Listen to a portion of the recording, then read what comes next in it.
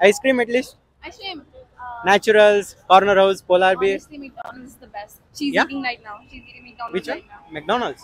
Ice cream. Yeah. Seriously? It's really cool, actually. But we haven't tried. Have you tried Corner House or Polar Bear? Kind of. well, but yes, it's not that great, honestly. Okay, okay, that's